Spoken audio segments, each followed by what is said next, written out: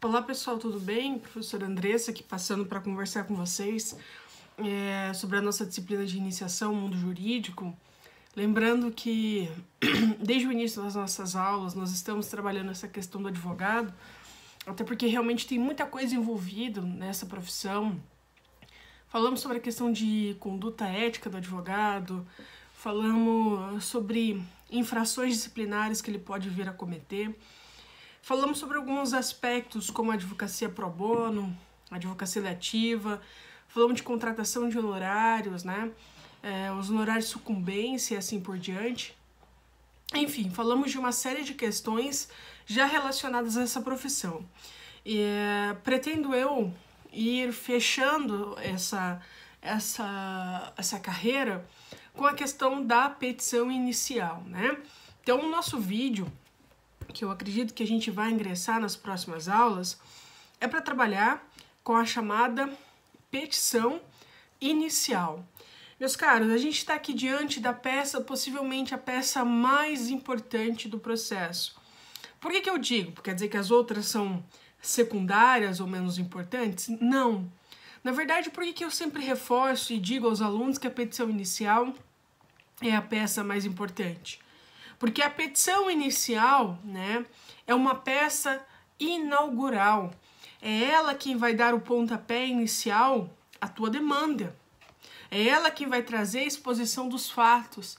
E ela vai ter uma argumentação jurídica toda envolvida nesse sentido. Daí porque a petição inicial, ela precisa de uma série de requisitos. Mas antes de tratar especificamente sobre os requisitos jurídicos, eu gostaria de deixar muito bem claro para vocês. Escrever bem direito não é escrever de forma prolixa. Nós precisamos parar com essa ideia de que o ato de escrever bem juridicamente a, em relação aos advogados significa escrever muito, tá? Na verdade, o que a petição inicial precisa ter é uma narração dos fatos de forma clara, de forma verdadeira, apontando detalhes importantes como datas, valores, situações que aconteceram. É isso que uma petição inicial bem feita precisa apresentar. Óbvio, a argumentação jurídica ela não é desnecessária, pelo contrário, ela é muito importante. Mas você precisa deixar muito bem claro a parte fática da tua petição inicial. Até porque nós sempre partimos do pressuposto de que o juiz sabe o direito de que ele conhece é, a regulamentação jurídica que a questão envolve.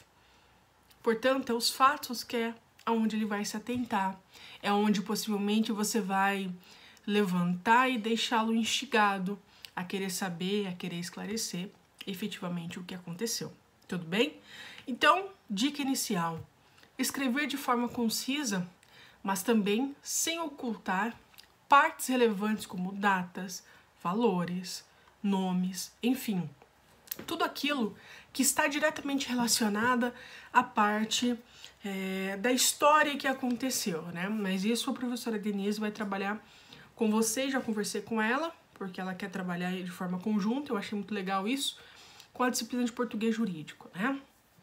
Como se escreve, a questão do português, isso realmente é indispensável ao advogado.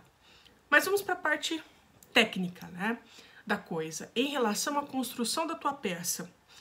O artigo 319 do Código de Processo Civil nos apresenta quais são os requisitos que a petição inicial deve ter, tá? Quais são os requisitos que a petição inicial deve ter? O primeiro deles diz que o juiz a que é dirigida. O inciso primeiro fala que é o juiz a que é dirigida. Vamos lá, pessoal. O que esse inciso quer dizer? Ele tem uma ideia por trás que é chamada competência. O juiz a que é dirigida significa, leia-se, juiz competente para conhecer a ação. Olha só, quando se trata de uma situação envolvendo um acidente de trânsito, uma questão de um contrato, vai ser o juiz civil. Quando se trata de uma situação envolvendo crimes, direito, né, a vara criminal. Ou pequenas causas, juizado especial civil. Alguma ação envolvendo criança e adolescente, vara da infância e juventude. Pensão alimentícia, divórcio, vara de família, tá? Além disso, você vai ter que olhar o domicílio do autor, do réu e assim por diante. Tudo isso é levado em consideração para se descobrir a competência de um juízo. Óbvio, tem, tem cidades muito pequenas que não têm essa especificidade, né, em relação às varas. Às vezes tem um juiz só que conhece todas as demandas, então é um juiz só mesmo. É um juiz único que a gente diz que vai ter competência para isso. Mas o juiz a que é dirigida significa, leia-se, é, eu estou falando de competência. Qual é o juiz que tem habilidade, que tem investidura para conhecer essa ação? Tudo bem? O segundo inciso, né, do artigo 319, vai dizer que você precisa indicar os nomes, os prenomes, o estado civil, solteiro, casado, a existência de união estável, a profissão, o número do cadastro de pessoas físicas, o CPF, né, ou o CNPJ, o endereço eletrônico, tá? Isso é uma novidade do Código de Processo Civil, que é 2015. Então, o endereço eletrônico, se não houver, não é obrigação que haja. Se não houver, você vai constar. Não possuindo endereço eletrônico, o domicílio e a residência do autor e do réu, tá? Você precisa indicar onde essa pessoa mora, ok? O terceiro inciso, esse, esse segundo inciso é uma qualificação das pessoas, né? Tem um autor e tem um réu, então você precisa indicar, é, qualificar o nome, CPF, RG, residência, assim por diante. O terceiro inciso é, de longe, para mim, um dos mais importantes deste artigo, que são os fatos e os fundamentos jurídicos do pedido. Pessoal, fato é o que aconteceu. Você precisa dizer né? A gente divide em tópicos isso, a petição inicial. Então eu coloco o endereçamento, qualifico o autor, nomeio a ação correspondente e nomeio na sequência o réu. Tá? Basta ver o modelo de petição inicial para vocês entenderem como funciona isso. Inclusive, até mandei um modelo de petição inicial para vocês. De outra forma, é, na sequência a gente divide ali dos fatos, né? Dos fatos e narra o que aconteceu. Né? Então você vai colocar lá. Consta que no dia tal, o autor tal fez isso, isso e aquilo. Enfim, você vai dizer, você vai nomear ah, o que realmente aconteceu, tudo bem? Depois, os fundamentos jurídicos é aquilo que ocorreu está amparado juridicamente? Fundamento jurídico é nesse sentido. O que aconteceu? Ele encontra amparo jurídico? Se encontra amparo jurídico, se há proteção jurídica em relação a isso, você vai fundamentar juridicamente, tá? O pedido com suas especificações, ou seja, se você quer que condene, se você quer que haja é, uma rescisão contratual, que se entregue um produto. Pedido é o que você quer. A partir do que ocorreu, o que, que você quer, na verdade?